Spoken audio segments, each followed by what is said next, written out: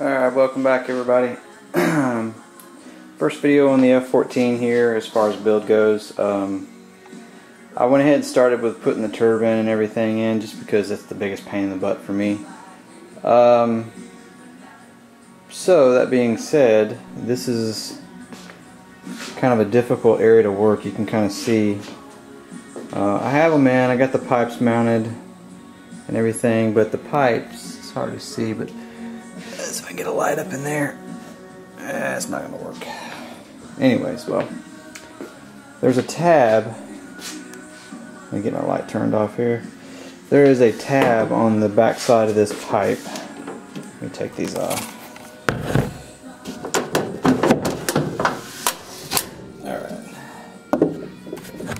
Alright. You can see here's the tab. Yeah, so you can see it, there you go.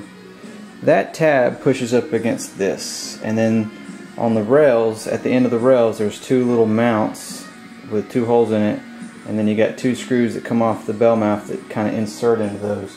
That is the intention, or that's the intent of the way that's supposed to be installed. But when you push it straight into the back, which would be super easy, uh, this tab is like way out here.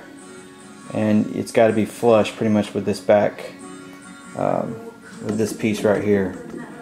And uh, so what I did was push the bell mouth uh, past it and kind of come in this, at this side. So I went ahead and put the bolts on the rails facing forward and then I just pushed the pipe in, uh, get it lined up with the, the, the bolts and then pull it back over the, the bolts that are sticking forward. And then you just screw screw some lock nuts on the front of it which holds it back against that, which is actually even better because this now is really not doing anything for you because the pipe is pulling on those mounts where it's mounted so it's secure in the front.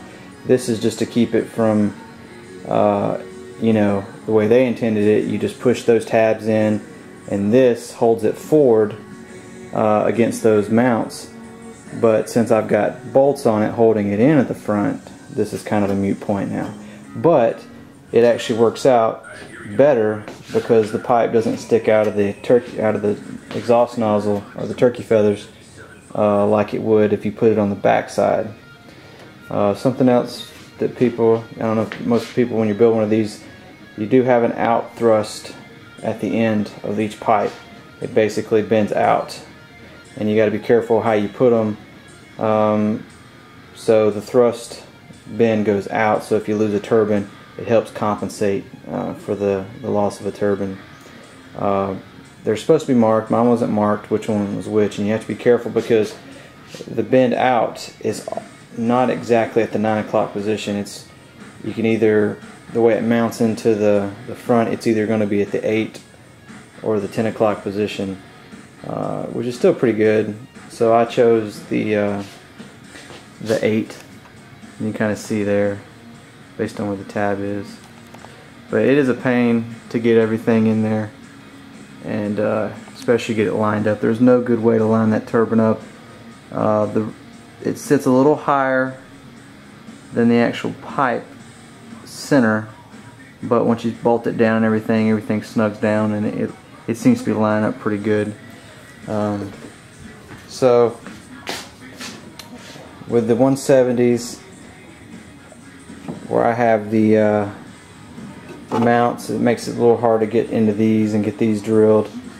Um, you do have to trim trim the actual, uh, it's already in, uh, the mount itself for the turbine because the normal as it comes it's too wide and it hits hits the inside wall so you have to trim off about uh, about that much of the actual mount not a big deal. I already had holes drilled for another turbine anyways, another jet anyways. So uh, that is that. And let's see. Uh, so as it sits, I'm going for um, a half inch to three quarters, which is what they recommend for the KingTechs.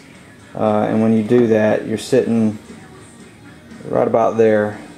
So you've got plenty of room probably another quarter inch or so you can actually move it forward uh, if you need to. So with the 170s I'm not having any issues. Uh, I won't have to trim anything in here.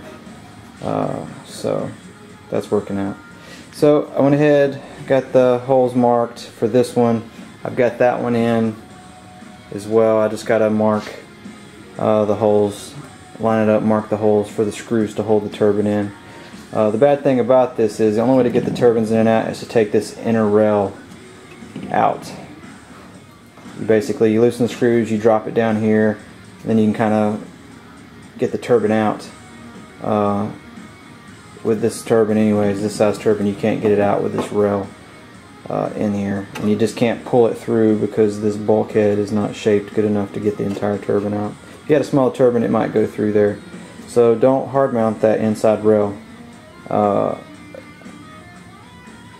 because you're going to pull these things out for maintenance and stuff so. But anyways that's about it so far. Um, I gotta run I'm actually gonna run down down to Nashville check out a hobby shop and then uh, I'll be back this afternoon to get going. Um, like I said I'm just gonna finish up hard mounting these getting these lined up.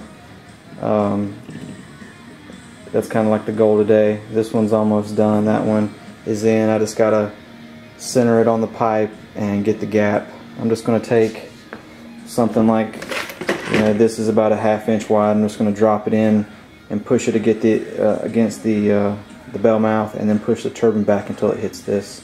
And that'll give me my gap. So which that's what I did with this one already. But even if you hard mount it you can just loosen your clamp and slide your turbine in and back and forth on the clamp itself until you get the gap you need uh, which is pretty much what I did uh, in retrospect I wish I would have put the mount further forward just so I could have gotten easier access to these screws but once they're drilled, uh, it'll be a little. I got a little tool that I can put in there and tighten the screws with. Uh, so we'll see. Worst case, I have to push the mount forward, drill two new holes, um, and everything. So, anyways, you guys take it easy, and uh, I'll get back to more uh, videos and pictures later. Take it easy.